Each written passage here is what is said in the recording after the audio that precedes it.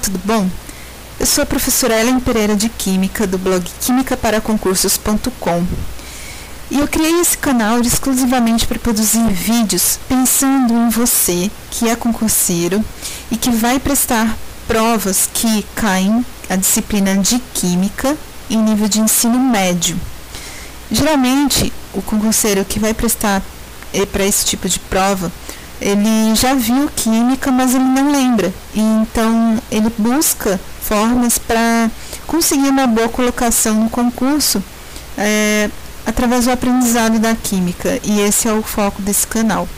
Além disso, eu produzo vídeos para te dar dicas de produtividade nos estudos. Se você gostou desses assuntos, desses temas, se você se identifica, se esse é o seu projeto de vida, passar em um concurso público e que contém química nas provas em nível de ensino médio, então vamos fazer o seguinte: eu gostaria de te pedir para que você se inscreva no canal, clica no sininho para nunca mais perder as minhas notificações. Eu prometo que os conteúdos que eu vou produzir aqui, que eu vou divulgar para você, vão ser muito úteis para a sua aprovação certo? Então eu vou seguir com a minha meta. Eu divulguei para vocês que eu iria resolver uma questão de química por dia, sempre às 8 da noite. Eu vou postar essas resoluções exclusivamente para o cargo de técnico de operação júnior. Então a prova vai ser no dia 1 de outubro de 2017 e hoje, dia 1 de setembro de 2017, então vai ser o nosso primeiro dia ao longo de 30 dias. Então eu posso dizer, passe 30 dias comigo, né? A partir de agora.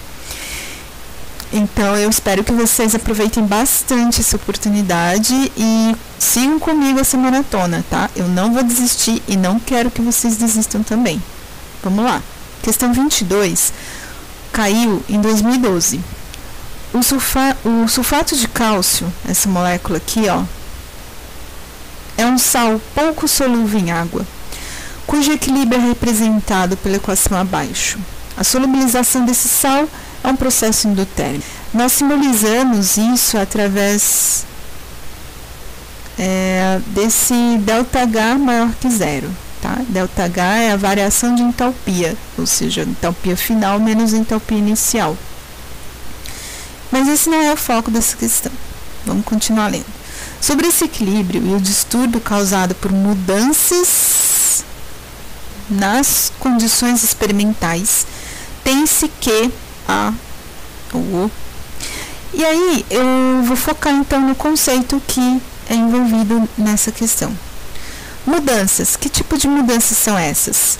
A gente tem mudanças é, em pressão em concentração e na temperatura, tá? Quando ocorre mudança de pressão, concentração e temperatura, o equilíbrio é alterado. E existe um princípio chamado princípio de Le Chatelier. Então anota aí, busca na internet, busca nos livros e estuda o princípio de Le Chatelier. O que, que ele diz? Aqui nós vamos aplicar esse princípio na prática, né?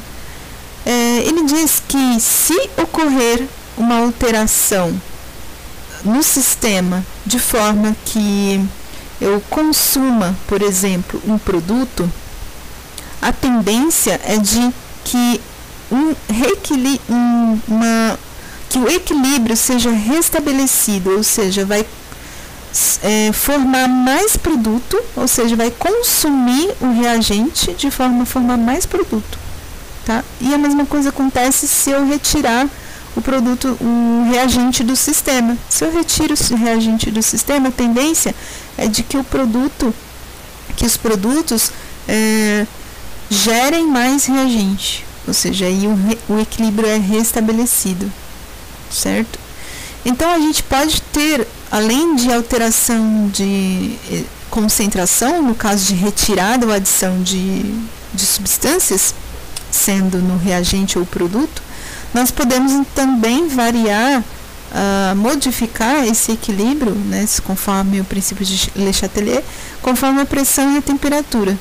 Mas eu quero que você se motive agora para buscar se informar sobre essas alterações, né, no caso de pressão e temperatura, tá? Porque aqui é mais uh, questão de concentração. Vamos seguir para a alternativa A. A adição de NaCl ao sistema aquoso provoca precipitação de mais sulfato de cálcio. Precipitar mais sulfato de cálcio significaria o quê? Que eu estaria adicionando, né, é uma alteração de concentração, eu estaria adicionando produtos, seja o cálcio 2 ou o sulfato 2 O NaCl em água libera esses íons? Não, então, se não libera esses íons, então não vai formar mais sulfato de cálcio, ou seja, não vai aumentar a quantidade desse, dessa molécula. Então, a alternativa A está errada. Vamos para B. Adição de ácido sulfúrico ao sistema aquoso provoca precipitação de mais sulfato de cálcio. Aqui esse 4 está errado. É, o 4 tem que estar tá aqui baixinho, ó ladinho. E aqui é mais, sem, esse, sem o i aqui, tá? Bom, o ácido sulfúrico em água, ele libera o íon sulfato, ou seja, o SO4 2-, né? E aí o que, que vai acontecer? Vai aumentar a concentração do sulfato aqui e, conforme eu falei, conforme o princípio de Le Chatelier, vai deslocar o equilíbrio para a esquerda e vai aumentar a concentração do sulfato de cálcio. Ou seja, achamos a questão alternativa certa. B. B de bola. Vamos ver por que, que a C, a D e a E não estão corretas. A C fala assim, também é alteração de concentração. A adição de água pura num volume insuficiente para dissolver todo o sulfato de cálcio altera a concentração de cálcio 2 quando a condição de equilíbrio for restabelecida. Bom, agora a gente vai fazer uma simulação aqui, ó. Vamos imaginar aqui um litro né, de solução, que a gente tem lá o sulfato de cálcio no seu estado sólido e também nós temos um litro de solução onde há o íon cálcio 2 mais aquoso e o íon SO4 2 menos também aquoso. Tá lá na solução lá um litro, tá? Agora vamos supor valores. Vamos supor aqui, como o foco é o cálcio, vamos supor que aqui tem um mol de cálcio. E aí a concentração do cálcio aqui vai ser quanto? Facinho, né? Um mol por litro. Igual um mol por litro. Agora vamos imaginar que vai adicionar lá no, no tambor mais um litro de água. Então vamos colocar aqui, ó, mais um litro, tá? Adiciona lá um litro. O que, que aconteceu com as concentrações? Isso antes do equilíbrio, tá? Porque a gente está falando de equilíbrio. Vai estar tá lá o sulfato de cálcio no seu estado sólido vai continuar lá o cálcio 2, que a gente está focado nele agora. Aquoso. Ele está perguntando do cálcio, né? E o SO4 2 está lá também. O que, que acontece? Quando a gente adiciona água, mais água, né, no caso, é, a concentração do, do cálcio ele vai vai acontecer o que? Vai diminuir, certo? Porque nós temos uh, um mol antes, né? Antes da adição, nós temos a quantidade de cálcio 2 mais é um mol, tá? Em um litro, a concentração dele é um mol por litro, tá? Depois que coloca o, a água, a gente, é, isso antes de restabelecer o equilíbrio, prestem atenção a gente continua tendo um mol, mas em 2 litros. O que, que aconteceu com a concentração? Diminuiu, né? 1 um dividido por 2 dá meio. Mas, contudo, porém, no entanto, nós estamos falando de equilíbrio. O que, que acontece com o equilíbrio? A gente diminui a concentração de cálcio 2 para formar sulfato de cálcio, a gente altera a concentração do íon cálcio 2+. Nós estamos alterando a concentração do cálcio 2+, indiretamente, ou seja, nós não estamos retirando o cálcio 2+, do equilíbrio de forma, por exemplo, com uma outra substância que estaria retirando o cálcio 2+, né? Porque existem formas de a gente retirar o cálcio 2+, é, diversas. E uma delas é adicionando mais água. Por quê? Porque se adiciona mais água, a gente tem, uh, tem a tendência então de diminuir a concentração do cálcio 2+, ou seja, vai perturbar o sistema e aí vai então aumentar a, a concentração do sulfato de cálcio, certo? E aí depois, quando que se restabelece o equilíbrio, a quantidade de cálcio 2+, ela vai ser menor, porque houve necessidade de consumir o cálcio 2+, para formar o sulfato de cálcio. Então, diminuir a concentração, diminui a quantidade do cálcio 2+, para meio. Porque como a concentração é uma relação é, inversamente proporcional, no caso a quantidade de, de matéria em cima e o volume embaixo é inversamente proporcional. Então, se eu dobro o volume embaixo, para eu manter a concentração, eu diminuo a quantidade de matéria em cima.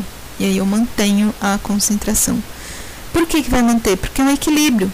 Então a concentração de cálcio 2 vai ser a mesma depois que o equilíbrio for restabelecido, certo?